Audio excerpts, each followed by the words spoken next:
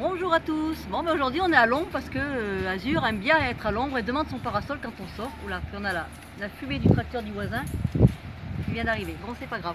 Donc je voulais vous faire une. Oui, on en prend plein la tête, hein, mon. Ouais, c'est pas facile de respirer.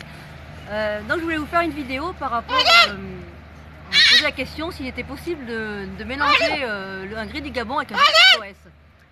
Alors bon, si vous les avez tout petits, qu'ils sont élevés ensemble, c'est-à-dire qu'ils arrivent tous les deux à vers 3-4 mois euh, et que vous les mettez ensemble dans une volière, vu qu'ils sont jeunes, normalement ça devrait relativement bien se passer, ils ne devraient pas avoir ni bagarre, ni quoi que ce soit, euh, et ça devrait marcher.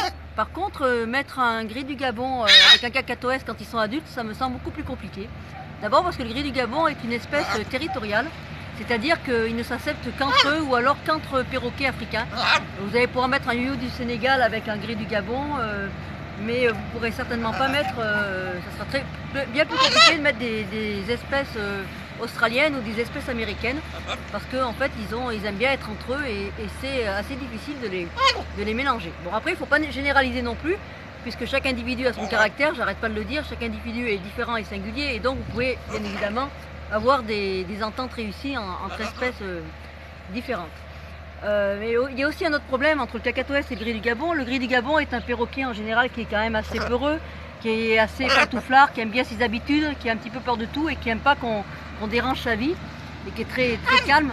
Alors que le cacatoès est toujours en mouvement, c'est hyper actif, ça veut tout le temps jouer. Euh, il aime bien gratouiller un petit peu les plumes de- des autres perroquets, alors que le, le gris du Gabon n'aime pas forcément qu'on le caresse, qu'on lui gratte les plumes. Et c'est un petit peu compliqué de mélanger un cacatoès avec un gris du Gabon à cause de ça. Donc moi je vous le conseille pas. Bon par contre évidemment c'est toujours à tenter. Donc si vous voulez tenter euh, le coup, je peux vous expliquer comment faire pour, euh, pour essayer de mettre en relation deux oiseaux adultes. Donc euh, c'est le tracteur du voisin et ça, il n'aime pas du tout ça. hein, il nous balance de la, terre- de la terre, hein, de la fumée. Euh, donc au départ, il va falloir déjà les mettre en quarantaine. hein. Si vous avez un oiseau qui arrive, euh, vous avez déjà à la maison, il faut mettre l'oiseau qui arrive en quarantaine et ne le mettre en relation dans la même pièce avec l'autre oiseau qu'au bout de, de 40 jours, vous voyez qu'il n'y a pas de maladie. Euh, après, au bout de ces 40 jours, vous allez pouvoir mettre les, les deux volières à côté. Un, oiseau dans une volière et un oiseau dans une autre volière. Et mettre vraiment les volières à côté qu'ils puissent se voir et, et avoir des contacts.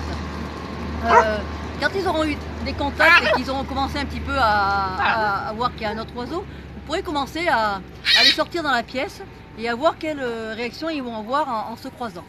Faites toujours très attention à la jalousie. Euh, toujours laisser la place au premier oiseau. Celui qui était là en premier doit avoir les câlins en premier, doit avoir les attentions en premier de votre part. Et euh, ne, pas, ne pas privilégier le nouvel oiseau qui arrive, puisque vous, auriez, euh, vous pourriez avoir de la jalousie euh, entre, entre les deux oiseaux. Voilà. Et après, au bout d'un moment, vous allez voir comment ça se passe, s'ils se battent ou s'ils se battent pas. Et vous pourrez éventuellement les, les mettre dans la même volière. Bien évidemment, si vous les mettez dans la même volière, au début, vous commencez une heure sous surveillance.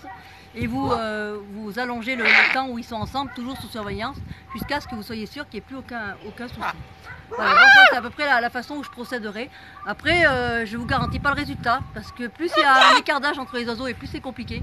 Si vous avez des oiseaux, un qui a 20 ans, un l'autre qui a 4 ans, ça sera plus compliqué euh, qu'avec des oiseaux qui sont un peu plus jeunes et qui ont le même âge.